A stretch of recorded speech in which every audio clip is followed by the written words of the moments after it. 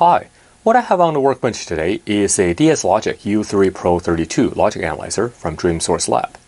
On this channel, I had reviewed a rather capable handheld oscilloscope from them not too long ago. So, of course, I wanted to check out what they have to offer with their best and most capable logic analyzer, and that's why we have it here today.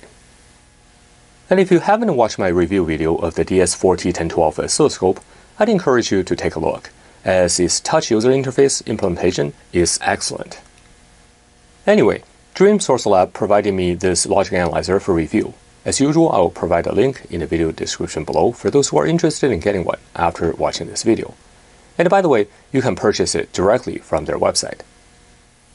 The logic analyzer comes in this nice semi-rigid instrument case, if you watch my review video of the DS4T1012, you'll notice that the instrument case is exactly the same as the one used for the oscilloscope. Inside the instrument case, you have this tiny logic analyzer sitting in the middle. Of course, I just took it out, but when it was shipped, it was sitting in the middle like this. It is made of a brushed aluminum and it just looks beautiful. In the zipper compartment, we also got two bags of these flying wire leads. Of course, I have taken them out so that it's easier for me to show you. Each bundle has four channels and we have six sets in each bag, so you've got plenty extras. I've taken one out earlier, so let's take a look. Just from a casual look, you can already see that these leads are very well made. Just look at the attention to detail here. On the header side, you can see we have this position key and it even has a DreamSource Lab logo on it. Isn't that beautiful? That's the header that you plug into the logic analyzer. And on the other side, you can see we even have this indicator here that indicates 1, 2, 3, 4. Those are the different four channels here. And on this end, each channel has its own independent ground, as you can see here, and the channel wires are color-coded. Of course, for low-frequency digital circuitry, you can just use a single ground. But having a dedicated ground connection with each channel wire is essential if you're dealing with higher frequency circuits. Look at that. You can even see a ground symbol on the ground wire here. Not sure if you can see. Let me just zoom in a little bit. That's a level of attention to detail here. So these are really high quality flying wire connectors. You also get two bags of these mini grabbers, 10 in each bag. Again, you have extras as we only have 32 channels. And if you take a look at the mini grabbers, I took one out earlier. These also feel like very high quality mini grabbers. You also get this thick USB-C cable and it's definitely very high quality for the high data rate that the device needs. And you can see that we even have the DreamSource Lab logo printed on the connector here. And finally, inside this little pouch, you have a QC sticker and some very basic instruction manual. So if you do any digital circuit development work, chances are you have used a logic analyzer before, or at least you have heard of it. Nowadays, a lot of the digital scopes, including DreamSource Lab's own DS4T1012 I reviewed a while back, all offer protocol decoding capability with the existing input channels. Certainly, a lot of hobbyists find it sufficient using an oscilloscope for doing logic analysis. I remember when I was doing reverse engineering of a toy helicopter's IR control about 10 years ago. The only tool I had at the time was a Rigol DS1052 two-channel oscilloscope. And I still managed to figure out the control signals by recording and compare the recorded signals. It was painful exercise, but it could be done. The main limitation of using an oscilloscope to decode, as compared to using a logical analyzer, is that you are limited by the number of input channels. With a dual channel scope, you are pretty much limited to decoding UART I2C or one wire protocol. With four channels, you do have more flexibility. You can decode SPI protocol and potentially decode more channels if you use, say, the clock signal and another signal as reference, and swapping in different signals with the remaining two oscilloscope channels. Of course, for this to work, the signal would have to be repetitive, as you cannot acquire everything all at once. For more serious work though, you will definitely need a dedicated logic analyzer. For the longest time, I was using a cheap 8-channel generic logic analyzer and it was rather rudimentary. You can capture signals, but you will have to do the analysis by yourself, since it did not have any triggering capability. It was very hard to capture infrequent signals. The software supplied with the DS Logic series can not only decode signals but also trigger on specific patterns. As I mentioned earlier, the U3 Pro 32 is the top of the line model. In the DS Logic series, DreamSource Lab has three models. They're all PC based. Besides the number of channels, the maximum sampling rate, and onboard buffer size, the main functionalities are pretty much identical among these three models. You can choose based on your need. For the majority of hobbyists, the DS Logic Plus would probably be sufficient. The U3 Pro 32 I have here has 32 input channels, it has a maximum sampling rate of 1 GHz and has 2 gigabits of onboard sampling memory.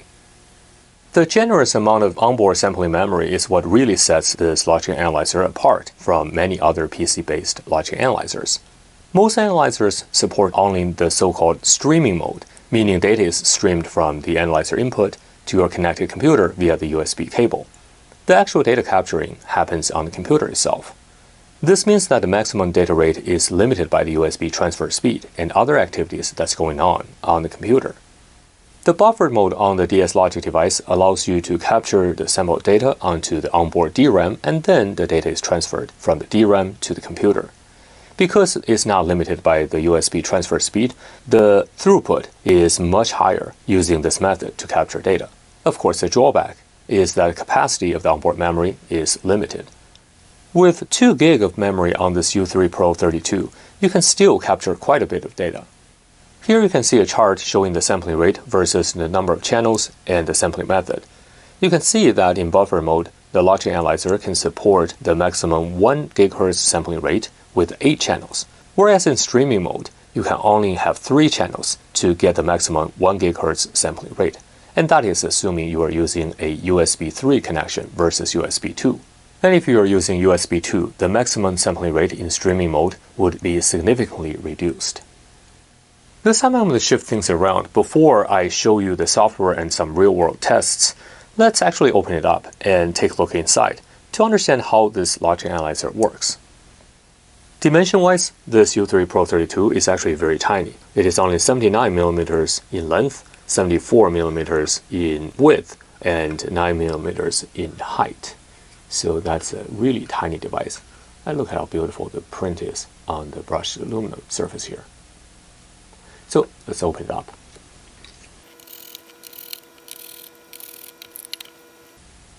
And by the look of it, we actually need to take four more screws out before we can remove the board.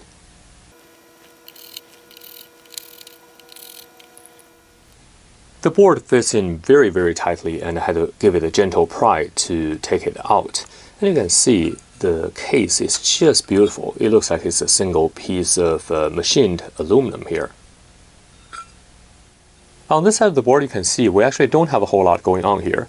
This chip here is a CYUSB 3014, which is a USB controller with an integrated 200 MHz ARM926EJ core 32-bit CPU. This controller chip is actually not cheap. It is roughly $30 each in quantity. Obviously, this is used to manage the USB 3 communications, but I suspect the onboard CPU is also used to handle other tasks that are specific to this logic analyzer. Looking at the silk screen here, you can see that it appears this board has been revised quite a bit as the version here is 311.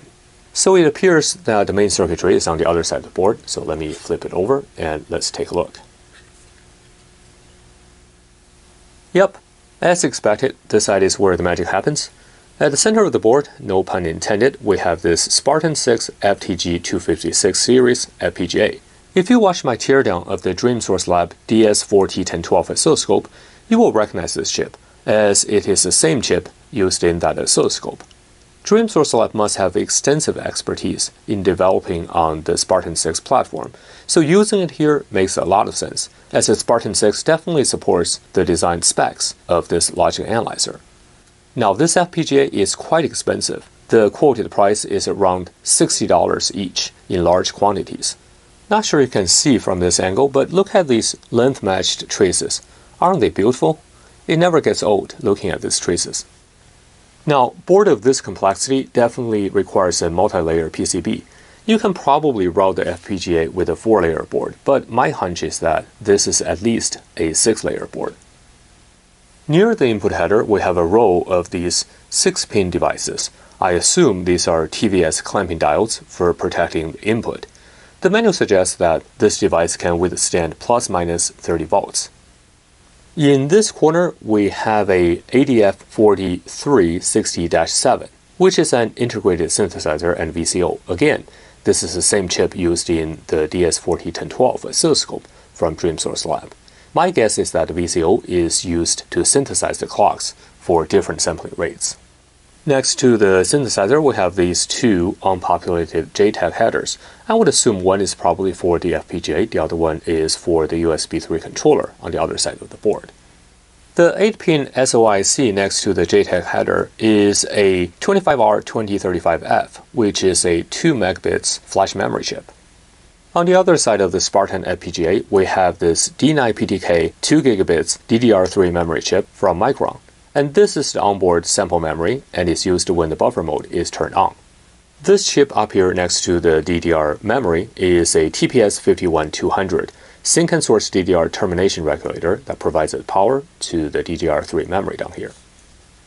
And moving down, by the placement of these inductors, we can tell that this must be a buck converter. In fact, this one is actually a 26480AA buck converter from Texas Instruments.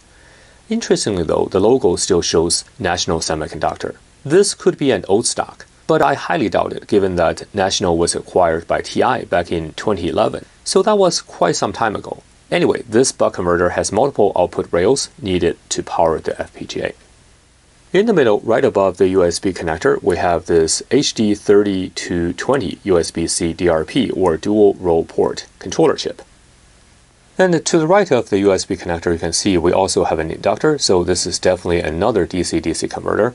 And this chip is marked as 1201, and I think it's a TI TPS 561201, which is capable of outputting 1 amp of current. And that's pretty much all there is on the circuit board. I have to say though, the hardware design is really impressive. Now let me reassemble it and we'll take a look using the DSView software and capture some signals.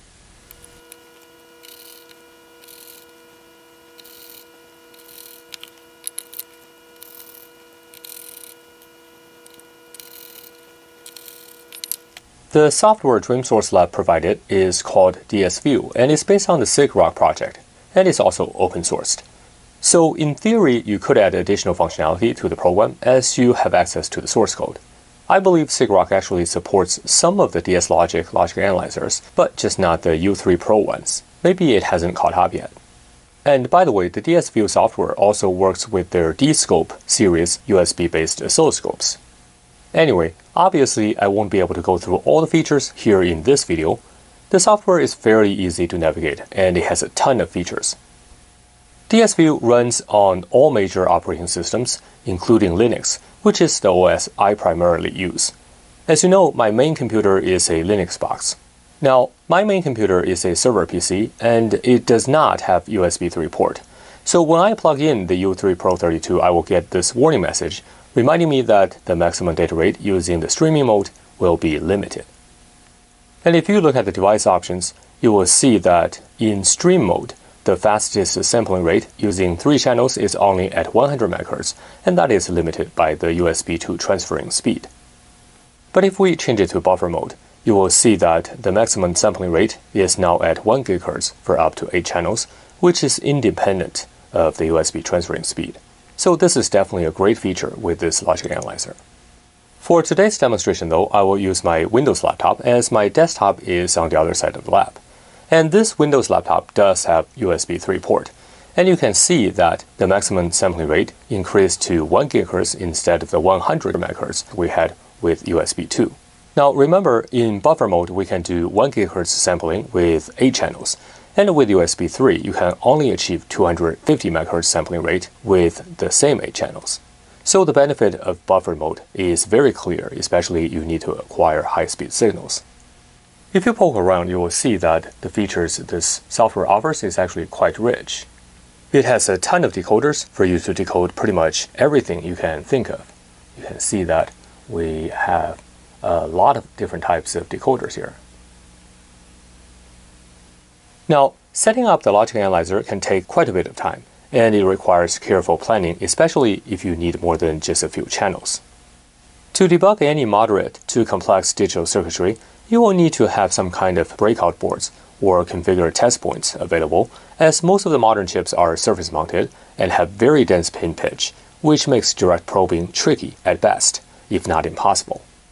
So in my demonstration, I'm going to show you just a couple of simple protocols. The first test I'm going to show you is using U3 Pro 32 to capture some serial data, and the data is generated via an Arduino board with fairly low 9600 baud rate. The Arduino is outputting Hello World continuously. Once you connected the device, it will show up here, and the light on the U3 Pro 32 will turn green. And if the program did not recognize the device, this drop-down box will only have the demo device. Anyway, so now we're connected, so let's take a look at some settings. And as mentioned earlier, we're currently in stream mode, which means that the device would capture the data and transfer it to the PC in real time. Right now you can see here we're using all 32 channels, and it really doesn't matter. We can just choose 3 but given the UART data rate, it doesn't really matter. Let's click OK. And on the sample rate, we are currently setting at 5 MHz, and that's plenty for our 9600 baud rate. The acquisition time length is set to 1 second. Now we need to configure the protocol because this is a UART signal. Let's uh, search for UART. And we do have a couple of options. The other options allow you to set more parameters, but we're not going to go into the details here. So you can see here, we have the RxTX pin, and in this case is pin 0. And the baud rate, as we mentioned earlier, that's 9600, so we'll change that. Everything else we can leave as default here. So let's hit OK. And now we should be able to acquire the signal. And you can see we already have this UART channel enabled here at channel 0. Alright, right now the channel is set up. In theory, we should be able to acquire the signal, so let's give it a go. And you can see we have captured something here. Of course, you can always zoom in here, but there is a better way to do it. You can see on the right pane here, we already captured the signal here. So if we click on one of the captured data points, it will zoom in and it will show you the captured data. So you can see that's indeed hello world. So that's a decoded signal here. I realize we probably don't need all the 32 channels here, so let's just configure it and we'll get rid of some. So now let's say we just use, let's use six channels, that's plenty. And we want to display the max height to be three times. So we will see a little bit more on the screen here. So let's give it a try. And you can see this is the signal we're getting here. For the second test, let me show you an I2C protocol, and for that I'm going to probe the communication between an Arduino and an SHT21 temperature and humidity sensor. And by the way, this was one of my earlier fun projects using servo motor to translate the digital output to an analog display, which is fun. Let me actually do a quick demo here. So here is the temperature and humidity sensor. As you can see, these are powered using two servo motors. And we're reading in the data from this sensor here, this tiny breakout board here. And I do have the headers. Later I'll plug into the logic analyzer. Here's the Arduino board. Here are two servos. So let's power it on and let's see what we got here. And you can see that's the lab temperature here. And if I put my hand on the sensor here, you'll see that the temperature is rising and the humidity is changing. So that is kind of fun. But anyway, in today's experiment, we're going to just uh, take a look at the data coming out from the sensor. So let me hook that up with the computer. All right, so I just hooked it up with the logic analyzer. You can see here through these flying wires. And the first thing we're going to set up is the protocol here. So we're going to get rid of that UART we just did. Now we're going to add a I squared C decoding here. So we're going to do I to C. Again, there are different options. This one is the most basic one. So I think the clock is 0 and data is 1. Now if it's wrong, we will just swap it later. So let's take a look here. So that looks good. And we probably want to increase the frequency here to, let's say, 10 megahertz. It doesn't really matter as it's still pretty slow. So now let's give it a go. And did I do it correctly? By the look of it, let's see here.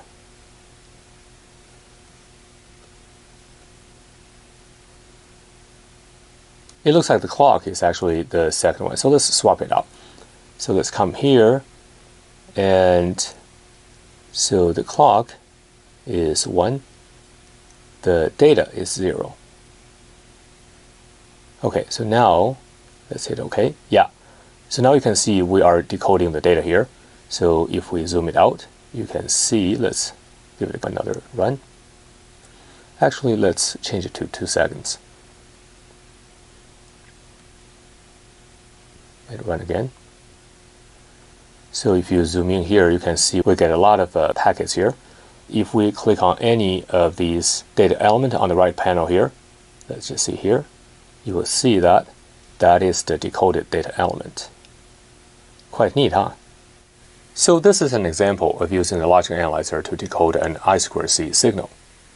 And of course, there's a lot you can do with the software. For example, you can measure the frequency of the clock here and you can do some other measurements. I'm not going to go into the detail here, but you get the idea. Now, as mentioned earlier, we also have this triggering capability, and you can see it is quite comprehensive. You can set multi-stages, and each stage you can specify a triggering condition and the relationship between the different stages, so on and so forth. I'm not going to go into details in this video. For the last test, I wanted to show you the buffer mode. Now, I don't have any high-speed signal circuitry to test at the moment, but let me simulate a clock signal using the function generator.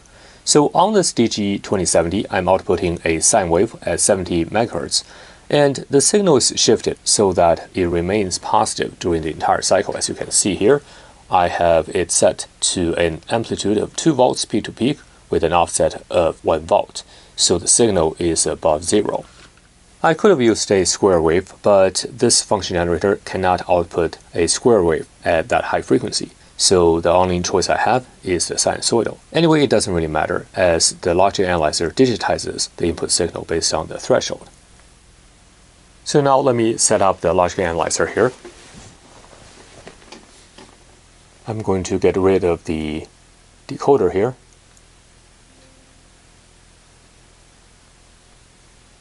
and I'm going to come back here to set it to buffer mode. I have already set it. And here we're setting it to 8 channels, so we have a maximum 1 GHz sampling rate.